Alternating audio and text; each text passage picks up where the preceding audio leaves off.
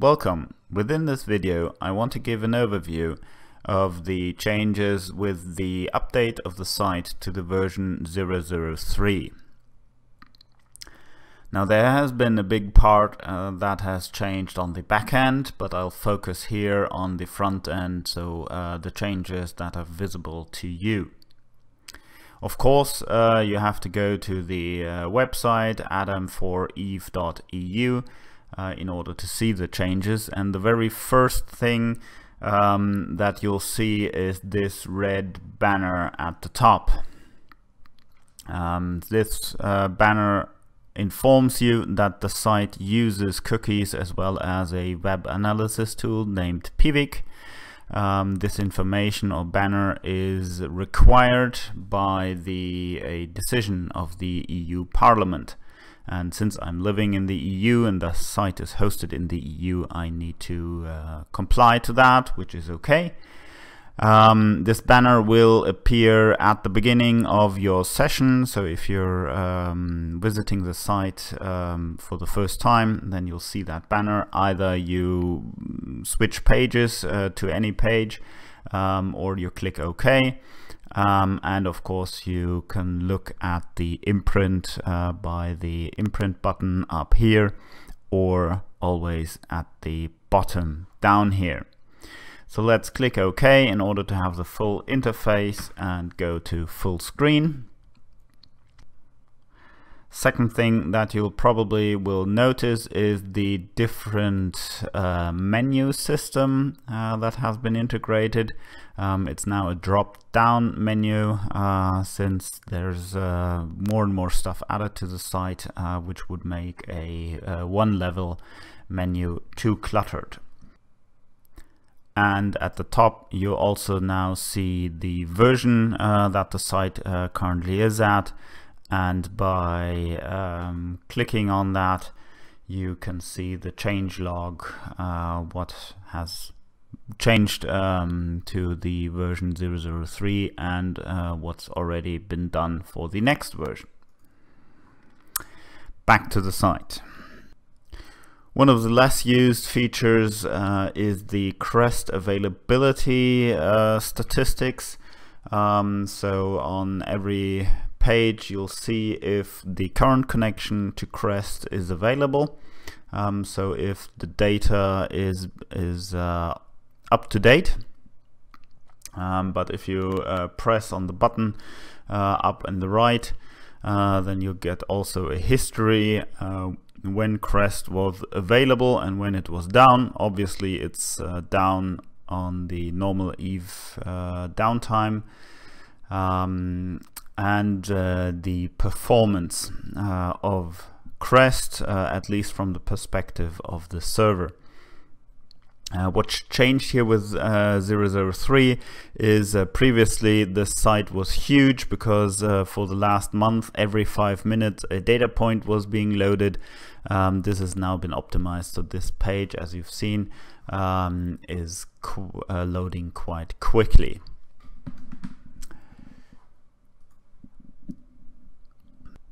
Regarding citadels, uh, there is a complete new uh, page. Um, so you know the statistics page. Um, there's been only minimal uh, changes to the um, alive citadel uh, statistics.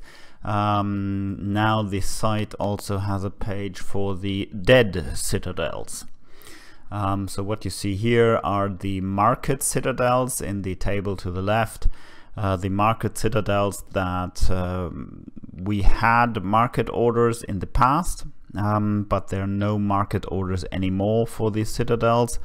Um, so either they they died or they've been taken offline, um, or the market module is not running anymore, or simply there's no uh, orders um, in that market anymore.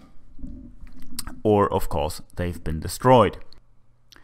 On the right side you see different graphs how many citadels have been destroyed. Uh, databases of this these graphs are the records that zKillboard has. Uh, so latest entry is that um, over 900 Astrahus citadels and uh, over 100 uh, Fortizars have been destroyed uh, in the past month. Um, you can see also see at the bottom, for example, um, a how many citadels in which region, um, so security region, have been destroyed. Um, for example, Fortizars, which are interesting for markets, um, they are mainly getting destroyed in null, and uh, you can see here the effort um, uh, within HiSec um, to get the market citadels removed there, um, which has stopped uh, in the last weeks. So these statistics are now available in the Citadels menu um, if you choose MIA missing in action menu item. A new feature is that you can click on the region or system name or even the Citadel name in order to get statistics uh, regarding that location. This applies to the MIA side as well as the normal statistics site. So for example, if we take, of course, uh, the Forge, um, you just click on the region name here, for example, and it will load uh, general statistics regarding uh, that region. Um, at the top, uh, for example, a graph with the performed trades, so trades that have actually been filled. Um, and important for uh, most of these uh, graphs, uh, note that there are little checkboxes at the bottom of these graphs because uh, for most of these regions uh, and the data uh, that has been displayed in the graphs, uh, this data, the data lines have very different values. So they, they are uh, in a very different value band. Uh, for example, if we trade, take perform trade, um, the move is is in the trillions, uh, whereas the uh, items that have been traded, uh, the commodity items that have been traded, uh, are in the billions. Uh, therefore, you uh, don't really see here at the bottom this red line um, because the move disk just outperforms all of that. However, if you go to the checkbox here and simply deselect move disk, then you've got that data line uh, for items traded and can see how uh, that developed. Same applies, uh, for example, for the kills. Um, the NPC kills always are a, a, magnitude higher than the ship or pod kills.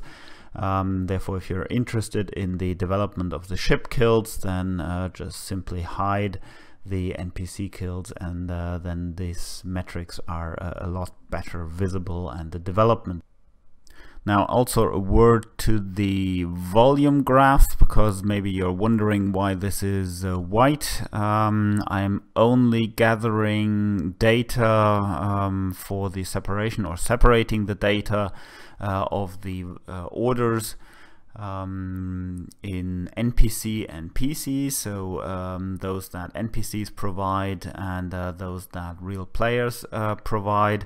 Um, of course, the more interesting data is the player uh, provided content, um, so therefore this is being displayed uh, by default and uh, is currently being gathered and this graph will fill gradually. However, if you're interested in the overall volume, so including NPCs, then for example, if we take the total buy volume of orders, um, you can uh, select that also via the checkboxes and um, see what kind of uh, development the overall buy volume has. At the bottom you have uh, then all the metrics in uh, a table, a spreadsheet form, um, which you can uh, sort whichever way you would like. Um, you can also drill out, um, so in, in, general from each view you can drill out and the highest level is the uh, universe level, uh, so that would be New Eden, um, where you can see what is the overall development uh, across the whole EVE universe. um, for example uh, regarding kills um, you can see that uh, currently about uh, 9 million uh, NPCs are killed by uh, per day and uh, see that for different regions as well um, so the highest rating region would be Delve um, and if we want to uh, drill down again, uh, let's take Delve. Takes a bit uh, to create, uh, to, to get the data. Um, so we see this in Delve, and in Delve we see, oh, the, uh, the, the rating has increased significantly in the last weeks. That's interesting. Um, so again, let's see with the largest rating uh, system, that would be uh, PS-94K. And if we go there, uh, drill down into that uh, that system, solar system, um, then um, again this is being reflected there. Um, please note that, for example, the perform trade um, graph is always on a region level. Um, this is not provided on a, on a more detailed level. Therefore, it, if you're drilling down, this will remain on a region level.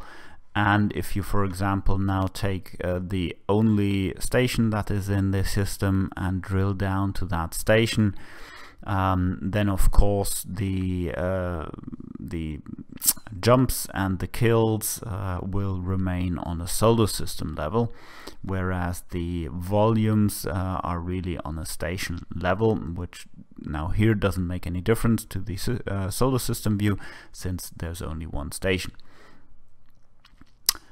so this is allows you uh, to view uh, different statistics and metrics uh, on different uh, levels of the EVE universe.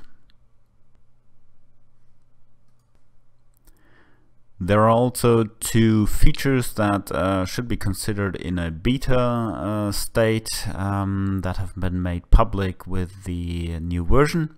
You'll find them in the market um, tab and there for example the market search. Um, this allows you to uh, get a list of commodities uh, according to well your preferences here. Um, let's make an example. Let's take ships and um, T2 ships. Set filter. So uh, we have T2 ships, that's a little short the list, let's make it bigger. And um, we're interested in, well, the volume, the current sell price, uh, that's uh, currently only Jita, and the price differences. And let's sort this for the delta of week in a descending order and uh, we see here um, how the price or the, the biggest price changes um, of T2 ships. Now, um, the top of the list is, for example, the Kirin. So if we look at the Kirin, um, then indeed we see that the sell price has significantly increased, uh, put this here, has significantly increased within the last week. Um, so this is the goal of this search uh, to allow you to um, define different parameters um, and to sort uh, according to these different parameters in order to find um, well the commodities uh, that you search. The second feature is the trade advisor. Um, the trade advisor again um, is beta is has a limited uh, feature set currently. Uh, it only allows station to station uh, search and only uh, sell to buy orders, so immediate trades. Um, let's make an example here as well. Let's take Jita, of course, and we go uh, as it was already um, proposed in that field, the Rens Trade Hub. Uh, we can't change anything here. We'll leave those settings here and we search and it seems that uh, the most profit uh, can currently be made, uh, at least with one commodity, commodity um, with burned logic circuits, um, which means that um, you need to invest 100 ISK in order to get 4.6 million ISK out of that trade, um, and that trade is immediate. Uh, so different uh, information here uh, regarding so you buy this for 58k uh, uh, and sell it for 61k uh, in Rens um, you can of course combine your run since this is only 17 in cargo volume with other commodities that are listed here if you want to see details on the proposed trades um, you can click on the uh, magnifying glass and uh, you'll see which uh, sell orders in JITA you would need to take and which buy orders in RENS you would fill. Of course, um, again, this is currently beta. Um, it is planned to have this expanded, as you can already see in the, the, the form fields, which are currently disabled um, expanded to, to a much higher uh, search radius, uh, so to speak. Um, but um, if you want, you can use it uh, and provide feedback. And that's all that has changed with the new version. Um, I would be happy if you give me feedback on it. Uh, if we, if you encounter any bugs, um, please let me know. Um, only if you let me know, then I can fix them. And uh, if you see anything that you like, if you see anything that you would uh, like to have expanded, um, anything uh, that would help you, uh, again, if you mention it to me, uh, there is a high chance uh, that it might make it into the next or one of the next releases. Thank you for watching and speak to you next time.